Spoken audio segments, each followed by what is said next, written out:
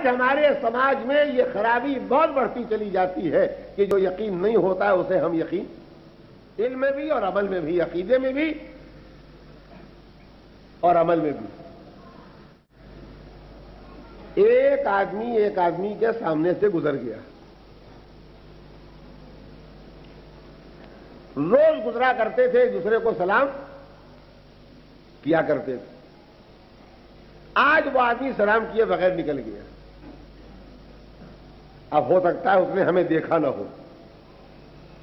हो सकता है वो किसी ऐसी परेशानी में हो कि हम सामने से गुजरे हो, मगर उसे ख्याल ही ना आया हो सलाम करने। तीस बातें हो सकती ना, अभी हो सकता है और भी बहुत बाकी।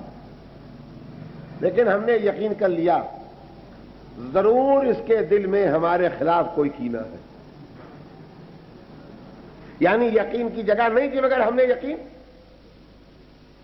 अरे साहब, रोज मिलता था, रोज साहब सलामत करता था, मिजाज पूछता था, रुक जाता था, बात किया करता था, आज क्या बात हो गई जो निकला चला गया? अबे वो निकला चला गया तो तुमने बढ़कर सलाम कर लिया हो तो ज़िंदगी में एक नहीं, हज़ार बुराइयाँ पैदा होती हैं, क्यों? कि जो यकीन नहीं होता है, उसको हम यकीन करार दे लेते हैं। इसीलिए कुरान मजीद ने कहा कि याद रखो, अक्सर गुमा, अक्सर गुमान, अक्सर जन।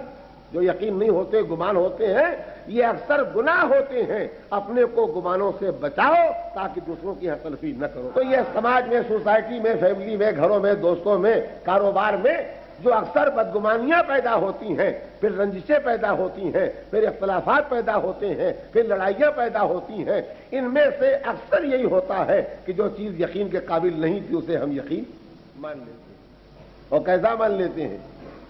उसे पता चला कि हम नाराज़ हो गए इसके दिल में हमें तरफ़ से कोई दुश्मनी है। इसलिए कि वो निकल गया था सलाम नहीं किया था। तो हमारे पास खुद आया कि भाई, उस वक्त हम परेशानी में थे, आपको देखा नहीं था। उसके बाद भी हमारा यकीन सुनेंगे आप?